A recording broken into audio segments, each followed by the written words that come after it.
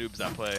I just I don't understand- I don't, I don't have to go against that. it's like a part of me says like there's no elo hell because like when like all these noobs are like oh i can't get out of whatever league it's like you probably belong there but then like i've i'm in Yeah. fucking elo hell like the comps that people